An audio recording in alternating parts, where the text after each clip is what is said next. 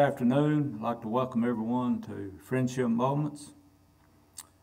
Uh, you know, it's a it's a blessing to be able to come to God's house and spread His word. You know, that's that's what we need to do as believers, is to spread His word. And we just pray here at this little church by the road that these will touch someone's heart, and God will open their heart to His word. And uh, you know, as believers, we're waiting for that last one to be saved, and then you know we're going to be called out of here. And what a blessing that's going to be. Nobody knows. It may happen here, it may happen across the big water or wherever, but when that last one receives or gets saved, and that's what His Word says. So believe it, because if He says it, it's going to happen. That's the way it'll be. Uh, I don't really have a title tonight for my devotion, but I'm going to read some verses out of uh, Romans uh, chapter 14, 21 through 23.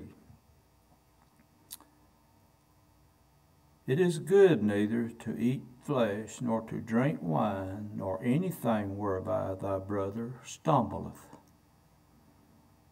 or is offended, or is made weak. You know, we as Christians, we have to be careful.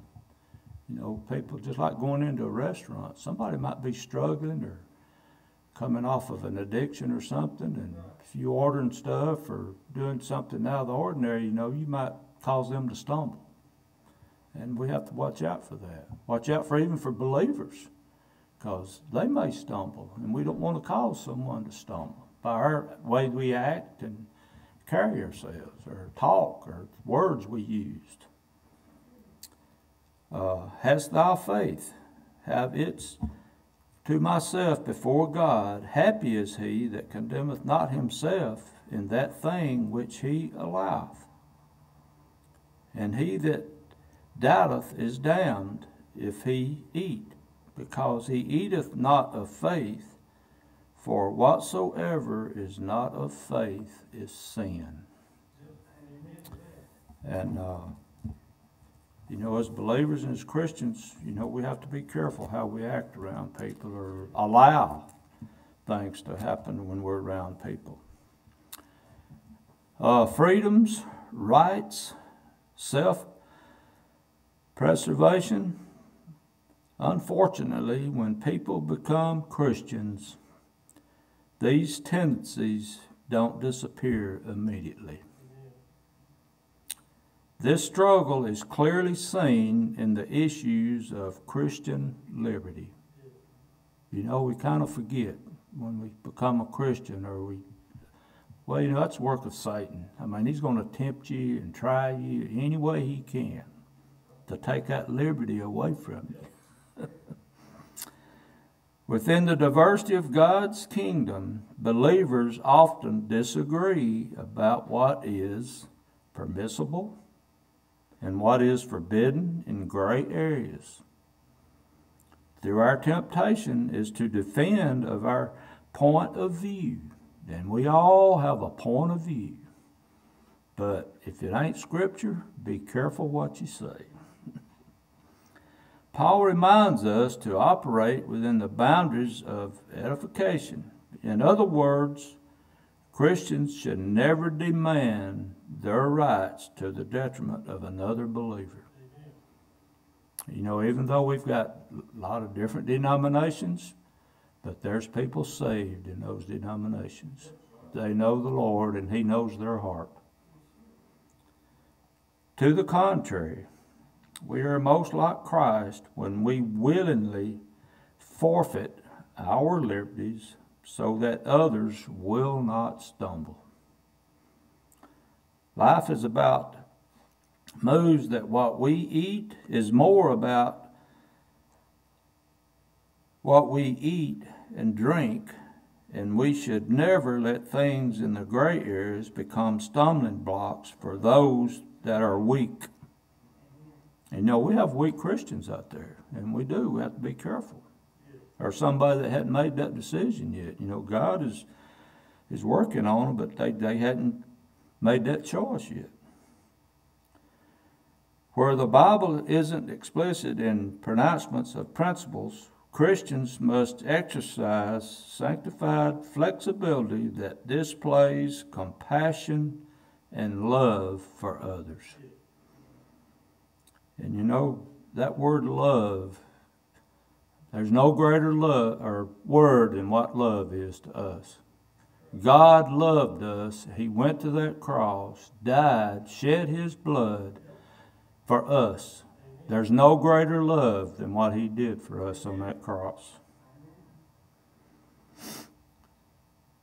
When our conscience, I'm going to throw the Holy Spirit in here, as our guide, we must value every member of God's family by seeking the good of our neighbor before our own.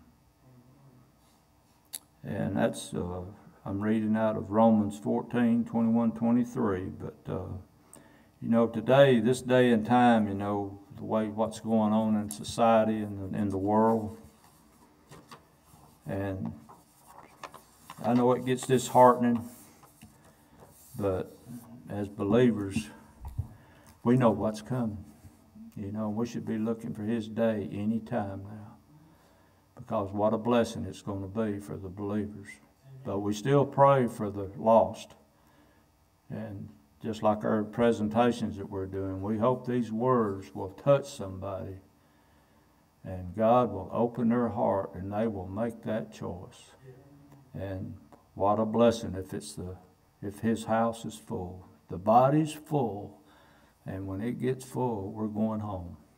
What a blessing. What a great day that's going to be. Let's pray. Heavenly Father, again, we just humbly come before you and dear Lord, just thank you for loving us.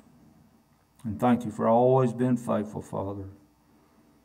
And dear Lord, just help us to put all of our trust into you, Father, because you already know what tomorrow's going to bring. You, go, you know what the next few seconds are going to bring, Father.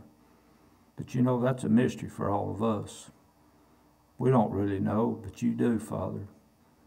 And dear Lord, we just thank you for that Holy Spirit that's with us, that makes us all one with you, dear Lord, as believers. And dear Lord, again, we just thank you for what you did on the cross for us. And dear Lord, you said it was finished. And it's a the age of grace, dear Lord.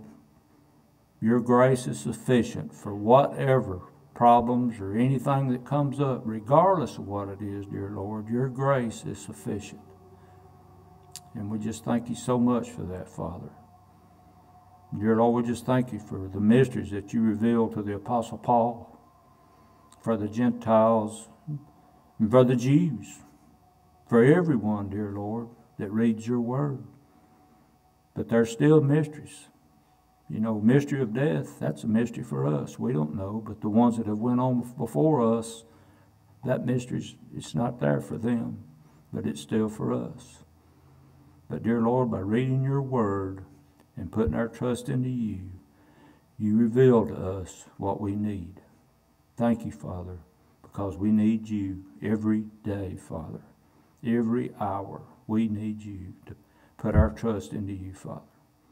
We love you and we trust you. In your precious and holy name we pray. Amen.